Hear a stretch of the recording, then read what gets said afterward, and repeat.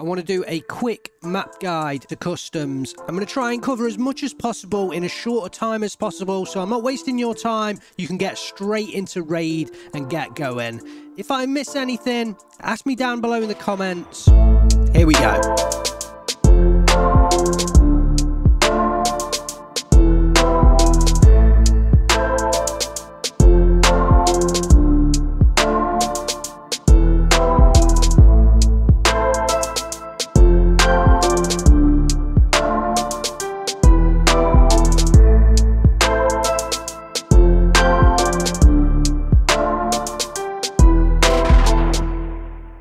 Customs. It's actually a 45 minute raid timer and there's up to 13 players on this map. In terms of PvP, dorms in particular, high level PvP, massive hot zone.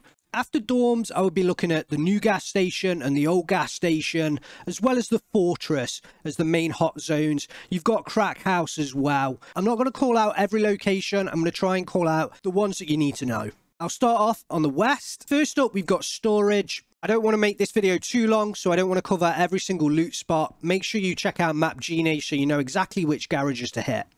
Then we'll move on to Big Red. This place is obvious, Big Red Warehouse. There is some loot around, nothing over the top special. You can get a fair bit of PvP around here early. Next up we got the river with the main bridge. There's a few different crossing points. If you're crossing early on in the raid, people are going to try and snipe as you cross that river.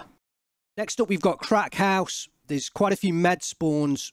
If you go in there, expect PvP. Then we've got construction. Next to that, we've got skeleton. There's not really that much loot around here. There are a couple of quests that go in this area. You can get PvP action around here. I'm going to be saying that a lot on the east side of this map, but you've got to keep your eyes out no matter where you are. Fortress or Stronghold. This is a boss spawn, so you can get Reshala spawn here. You can get a fair bit of PvP. Personally, I like this area more than the gas station or dorms. Old gas station, it is an optional extract. There are a couple of areas here that you need to know about for loot. Inside the old gas station on the table, a chance of spawning any item. And also at the giving tree, a chance of spawning any item in the game. And we'll head straight over to new gas station. Reshala can spawn here. There's some loot in the gas station itself, but the main reason people go there is for the boss spawn, to kill Reshala shortcut or factory shortcut you can get through using the factory exit key. It takes two uses of that key. You really want to look up the shortcuts for customs to get over the walls. Warehouse 4, this contains the switch to turn on the ZB013 extract, which is over at Fortress. Let's head north now and we're going to look at the power station or substation. There's some decent loot here. There's a lab keycard spawn. There's a couple of weapon box spawns. There's some hidden caches nearby and there's hidden caches all around the northern side of this map. And then finally, dorms. I decided to leave this one till last because this is the high value area. This is the place where people that want the high value loot, the marked room in particular, PvP action all the time, they're going to go to dorms. You've got three story and two story. Two Story's got some decent safes in. It's got other loot as well. People are more likely to hit Three Story. Three Story's got the marked room on the third floor. Reshala spawns here as well. And if you're looking for PvP, go to dorms. I guarantee you're going to find it. Let's move over to spawns. There's two main spawns on the map, east side and the west side.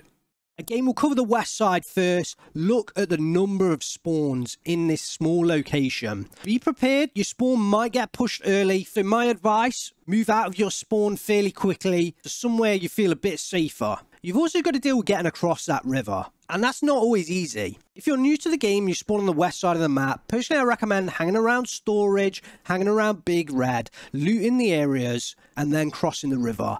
By that time, most of the people that are hanging around on the other side of the river looking for quick kills as people cross, they're going to get fed up, they're going to go do something else.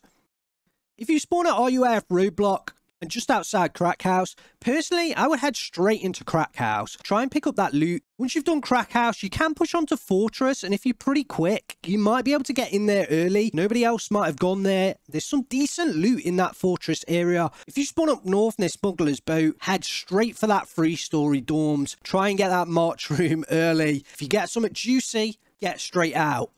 The same can be said for the spawns to the east of Dorms, but just to the west of the railway. Those two spawns there head straight down to Dorms.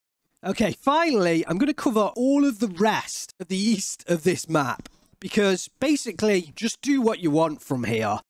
Now let's talk about extracts. I'm going to kick things off with the Dorm's vehicle extract. It's not always there. It's single use. It's 7,000 rubles. There's a maximum of four players.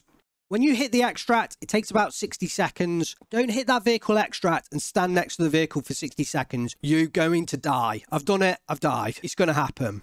If you spawn on the west side of the map, the extracts you're going to have access to is ZB013, which is located in the fortress or stronghold, old gas station, ZB1012, and ZB1011. ZB1011 is always going to be available. The rest are conditional. ZB013 requires the electricity to be turned on in warehouse 4. Old gas station requires green flares, and ZB1012 requires the searchlight on the top of the extract to be on.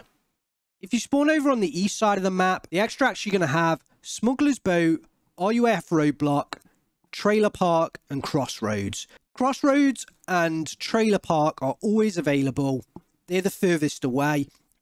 RUAF Roadblock requires a searchlight to be on. And Smuggler's Boat requires the campfire to be lit, and there's a small boat there as well. I think that's covered everything I want to cover. If we get more subscribers, I might make a detailed map guide for every map. Right now, I'm just focused on getting a quick map guide out there, so if there's anyone new to the game, they can just head straight in. You know the important locations, you know the kind of map layout and the overview to the map, the kind of hot zones, the less contested zones, and you can get into the action and you can get going on the map. That's my main concern here. If you enjoyed this video, you found it useful, hit the like button, hit the subscribe button, drop me a comment down below with your thoughts or any other tips that you've got for other people on this map.